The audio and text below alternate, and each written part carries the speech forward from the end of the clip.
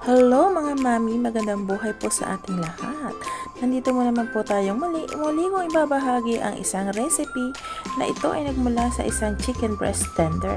Ito po ay napakasimple. So, hindi ka po magsisisi, kaya ito po ay iyong panoodin hanggang sa huli. At kung hindi ka pa po nakasubscribe sa aking channel, please do subscribe and press the notification bell. Maraming salamat po!